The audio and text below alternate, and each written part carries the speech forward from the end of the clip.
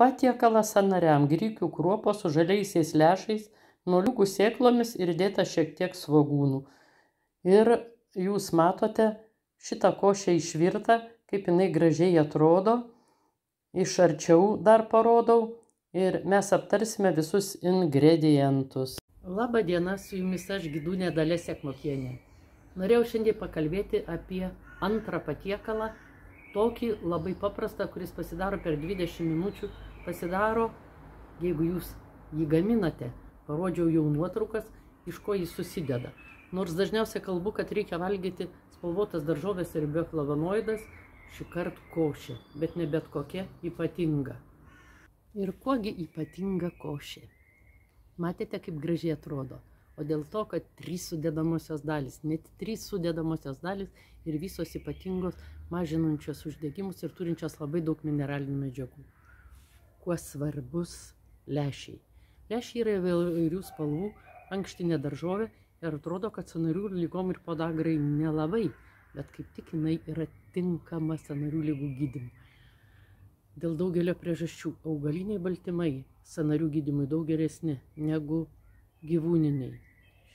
Ir yra viename podelėje jau virtų lešių, tai podelis aš turiu omeny, pridedam 200 ml baltymų 18 gramų. Atsiminkit, kad organizmas pakeičia maždaug 23 gramus baltymų vidutiniškai dirbančiam žmogui ir dalį amino rūgščių mes sintetinam. Dar kuo labai svarbu. Lešiai yra puikus bioflavonoidų, vadinami polifenoliai šaltiniai. Apie juos labai jau daug kalbu. Tai yra mažina uždegimą. Lešiai dar labai yra svarbus tuo, kad turi daug folio rūgšties, vitamino B9, kurio mažai kur yra. Žinot, kad trūkstant folatų labai blogai ir smegenim, ir kaulų sistemai taip pat. Ir jo ypač reikia nešiom. Todėl rytų virtuvėje lešiai labai populiarūs. Ir tikrai labai skanu ko dar lešiuose gausu. Mes sakom, nevalgysim mėsos, negausim geležies. Viename podelyje 200 gramų virtų lešių geležies yra 6,6 mg, tai maždaug trečdalis normos. Tai yra labai labai svarbu. Dar gausu kalcio ir magnio. O magnis labai mums svarbu atsipalaiduoti nervų sistemai. Kai mes gyvenam strese, ir valgome rūgštinį maistą, o parūgštėjus terpėje kaip tik tai gaunasi sanarių lygos. Tada ypatingai svarbu gauti magnio. O čia jūs įsivaizduot geležies, kalcio ir magnio šaltinis. Tai unikalu. Daug skaidulų. Viename puodelėje 15,6 gramų. Taip radau vidutiniškai. O jūs įsivaizduot, kad mes lietuviai nesuvalgom normos. Mes tiek maždaug tik tai tesuvalgom ir daug daug lygų. Pasižiūrėkite kitą mano filmą, kokias lygas gali sukelti maistinės skaidulos, tirpios ir netirpios. Dar noriu pasakyti, kad yra begalybė receptų internete apie lešius, nes yra visų įvairių įvairių spalvų lešių. Jie truputį skiriasi. Bet esmė ta pati. Lešiai mums būtini. O kągi žinote apie moliūgus? Čia įeina moliūgų sėklos tai labai unikalu, nes tai taip pat baltymai. Jeigu lečiasi apie 25 procentai baltymų, tai virš 30 moliūgo. Ir moliūgose gausų labai gerų e, riebiųjų rūkščių. Bet aš ne apie tai. Ką žino liaudės medicina? Kirminus varo. Be geležies, kalcio ir magnio, ką turi lešiai, čia cinko šaltinis, o cinkas tai mūsų imunitetas ir kas cinkas reikalingai prostatai. Tai už tai visi žino, kad moliukai vyram moliūgai valgomi, užtenka 30 gramų per dieną ir neturėsite jokių problemų su prostata. Taip pat ir su sanariais. Kodėl aš visą laiką kalbėjau apie sanarius ir apie uždegimus. Labai stiprios prieš uždegiminės savybės visų lygų atvejais. Ne tik dėl cinko stiprinančio imunitetą, bet tai įrodyta labai pakartoju stiprios prieš uždegiminės savybės, aišku, ir dėl sanarių lygų jos taip pat labai svarbios. Taigi, ar vartojate moliūgus?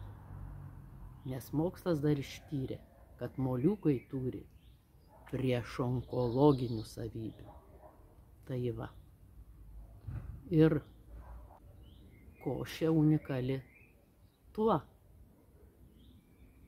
Apie mūsų grikius tai žinot daug ir aš galvoju, kad jūs nemažai ir pasiskaitysite, nes tai irgi labai unikalus dalykas. Mes nuo seno vartojam grikius. Savietų laikais tai buvo retenybė ir mažiem vaikam mes stengdavomės jų gauti kuo daugiau. E, grikiai netgi nesiskaito grūdai ir grikius galima valgyti kaip ir troškintas daržovės, e, nedidelis kiekis, jeigu įsverdam atskirai e, be ankštinių vakare. Šiaip tai aš vakarienį rekomenduosiu kitus patiekalus, o pietų patiekalas irgi šis ne vienintelis, bus dar patiekalų. Rodysiu ir rodysiu, gydančių patiekalų. Svarbiausia, aišku, daržovės, o šita buvo ne daržovės, aš norėjau parodyti, iš kur gaunam mes baltymų. Apie grikius aš manau, kiek kiekvienas pasiskaitysite, nes maistinių skaidulų šaltinis, mineralinių medžiagų šaltinis, geležies šaltinis, lengvai virškinami ir dabar yra ir grikių miltai. Vienu žodžiu, puikia lietuviška kultūra, tik tai džiaukitės, kad ją turime. Moliūgų sėklos, grykiai, lešiai. Dar pasakysiu, kad moliūgų sėklos gydo antro tipo diabetą. Tai taip pat naujausi mokslo duomenys ir dar kuo jos ypatingos. Naudingos akim. Taip pat užtenka 30 gramų ir iškart pagerėjimą pajusite dėl to, kad yra riebaluose daug tripių vitaminų kurie, ir karotenoidų, kurie akim yra didelė, didelė, didelė nauda. Galite pasidaryti salotų. Įvairių salotų prie košės, žalių. O aš parodysiu nuotrauką vienų salotų ir užduosiu klausimą, o jūs komentaruose būtinai atsakykit, nes yra ingredientai du, kurie visiems sveikiems žmonėms tinka, aš tas salotas ir valgiu. Bet du ingredientai sergantiems sanarių lygomis netinka. Tai jūs turite pasakyti iš nuotraukų, koks ingredientas sanariam netinka. Aš atsakysiu kitą laidą.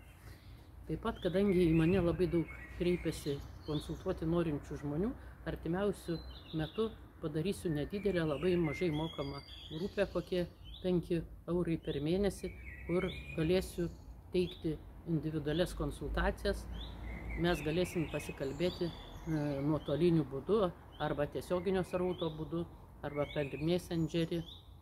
Ir aš per messengerį taip pat atsakysiu, nes šiuo metu visiems pajėgant nepajėgiu. Tai bus oficialus dalykas, e, bus paskelbta YouTube platformoje. Dabar žiūrėkite į salotas ir pagalvokite, tai kokiegi ingredientai netinka.